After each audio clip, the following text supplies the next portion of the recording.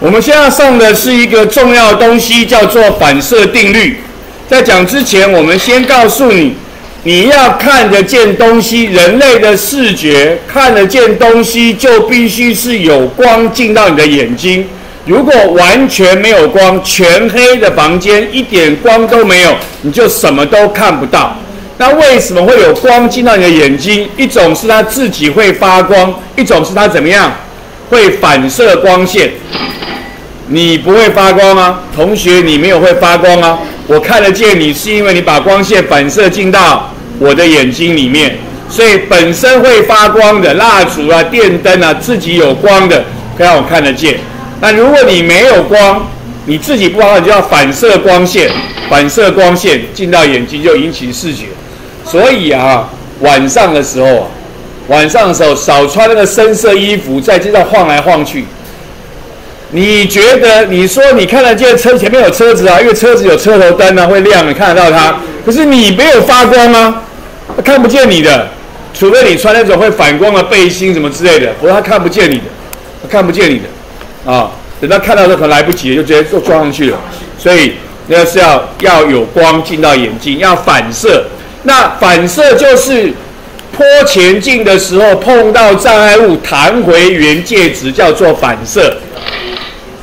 那前进碰到障碍物弹回来叫反射，很类似那篮球的插板得分或打撞球什么一颗星打进去那个意思是一样的。重点是所有坡的反射都会怎样？遵守反射定律，都会遵守反射定律。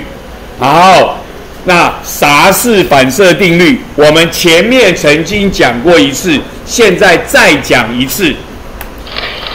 反射定律有两点，第一点叫入射线、反射线跟法线在同一个平面，入射线跟反射线在法线的两侧。这句就是考试画一张图，问你画的对不对而已。啊，诶，很容易看得出来对不对啊？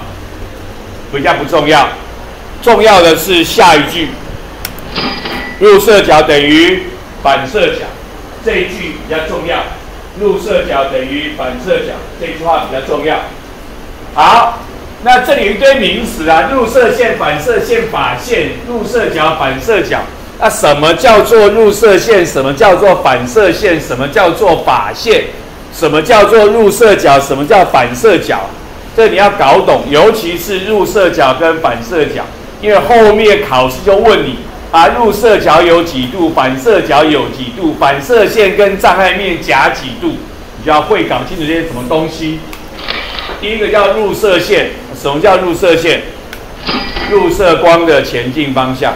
插板得分，篮球丢出去，丢出去的篮球所走的方向，走的这条线就叫做入射线。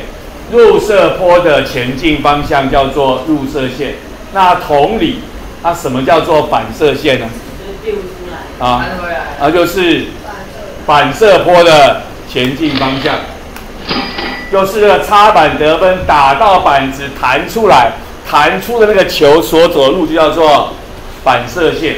所以入射线就是入射波的前进方向，反射线就是反射波的前进方向。那啥玩意儿叫做靶线？那个理化上啊，物理上用“法”这个字代表垂直，“法”这个字代表垂直，所以所谓的法线什么意思？就是跟障碍面垂直的线，在那个碰到那一点垂直，再撞到那一点垂直的，叫做所谓的法线，跟障碍面垂直的线，所以这叫做入射线、反射线跟法线在同一个平面啊。同个平面，要入射线、反射线在法线的两侧，这很正常啊，这非常的正常。你用生活经验就知道了，你用生活经验就知道了。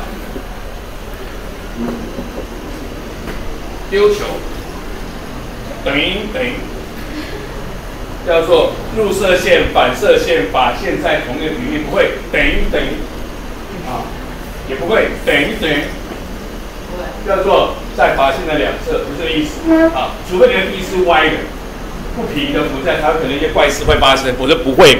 所所以这就是生活经验就知道了。入射线、反射线跟法线在同一个平面，入射线、反射线在法线的两侧。那还有两个名词，入射角跟反射角是重点，搞清楚是谁。什么叫入射角？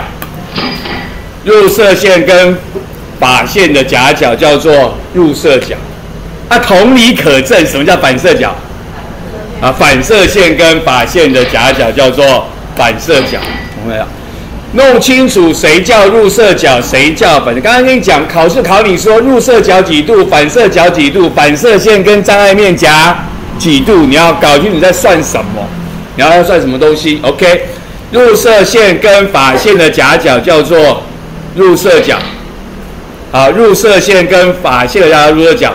反射线跟法线的夹角叫做反射角，然后把反射定律呢弄清楚，这叫做反射定律。重点，考试所需要明白的重点叫做入射角等于反射角，这个是你考试所需要明白的重点。OK，当然除了背这个之外，你还要知道到底什么叫做入射角，什么叫做反射角，这个。什么是啊？这要搞清楚，这就是我们要学习的重点。OK。